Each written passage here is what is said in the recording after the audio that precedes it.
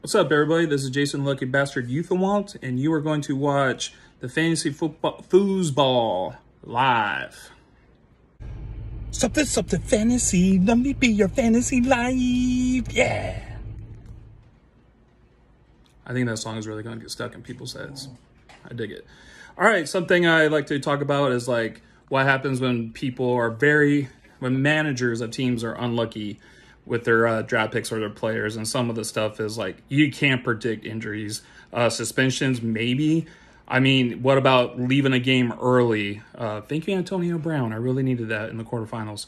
And now we have to deal with COVID too. It's, it's kind of ridiculous. But I want to talk about ways that you can also increase your luck in case you're running into situations like this. Um, what I would do is don't waste early draft picks on injury prone players. Um, Raheem Mostert yeah, that guy is a beast. He's he can run fast. He's got the agility, acceleration is like crazy, but that dude just cannot stay healthy. He could be a top 10 running back if he just finished out the whole year. Until then, I'm not picking that guy early. I'm going to wait till the mid to late rounds to get him. But you know someone's going to pick him up early. They're going to pick him up early and brag about him, and then they're going to be like, oh, he tore his other ACL. Like, it's almost like every year. Um, I think one of the common things that everyone knows too is like you get handcuffed players. And the number one that comes to my mind is like you kind of get him in the mid round, and it's going to be like Rashaad Penny. Uh, Chris Carson is out of there. He has a broken neck, can't play, retired. Sucks to be him. And what I would do though is definitely focus on Walker. Um, Penny out of the last like 65 games has only played like 37 of them. And the Seahawks, they drafted Walker like in the 40, first pick, I believe, they want to use him. They want to utilize him.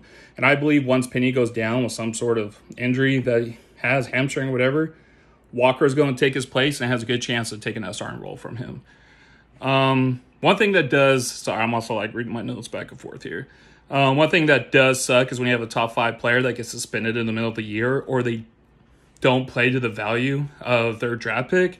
Um, thank you, Chris Johnson uh, 2011. That was a great second pick for me. Um, I would what I normally do is like top five pick. I haven't been there for a while, but top five pick. You pick that player, great, whatever. You go on the rest of the draft like you didn't have that top pick. Like you go like you didn't even have a first round pick, and you just build your team like, okay, I need to get this running back because I didn't get so and so in the first round, right? You just act like that didn't happen, and you just draft your team. And then in the end, let's say that guy does perform like you're supposed to, you're going to have a solid team because you went off of these guidelines.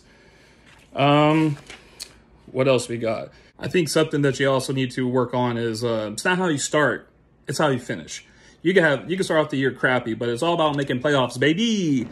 And I think one of the things that you guys could do and uh, in your draft picks is like keep an eye on suspended players. Like Hopkins, for one, has a six game suspension. But you know, you're not going to pick him first. No one's going to pick him first, but keep an eye on him in the mid rounds because when he comes back after six games, I think you're really going to enjoy him towards the end of the year. He's going to come back fresh, and I think he's going to do pretty good for any team who's able to pick him up. Um, during situations where your team is just like underperforming, uh, you got to trade smart. You got to trade smart. Um, I think it was like another 2011 year where I had like Calvin Johnson and he had like nine touchdowns in five games. I knew that guy was going to be able to keep that up. He was on pace for like 30 touchdowns. He was not going to get that with playing for the Lions. So what I did, I traded him for uh, two players that were that would help out my roster spots. Um, but you got to be smart about it. I'm not about going wide receiver, wide receiver, running back for running back. I feel like in a situation like that, someone is always going to get gypped and I just want to make sure that you guys like think about it. I would do running wide receiver for running back, you know, running back for wide receiver, whatnot. But for the same position, I I don't see the reason in that. I, I don't see the reason for it at all. As you guys, you just gotta be smart about it. Be smart because someone's gonna get gypped in those situations, but make sure it's not you. Um, and then, of course, one of the number one things that you could do is when you head over to the waiver wire, pay attention to Tyler, the waiver king Ward. He is a genius when it comes to that. Um, I'm really hyping him up right now. The dude's my partner. Woo woo. And um, I sometimes I don't understand why this guy even drafted because he does not finish the year with the same team, but yet he's always doing pretty well, always winning himself some money. And of course, to cap it off, you know, it's all about those late round picks. Um, of course, you're going to have your top 10, top 10 round picks are probably going to perform. But if you can find those gems in the late rounds, the 14th, the 15th, the 16th, those make a huge difference and can win you leagues. Um, so when it comes to that, I would just do a bunch of studying and listening to the fantasy foosballers whenever you get a chance, so you get that extra insight. All right, well, thank you for listening. Uh, this is my first video. It's very nerve wracking, and I, it's like 150 degrees in here. I feel like, but um, make sure you like and subscribe, and we will talk to you soon. All right, peace out.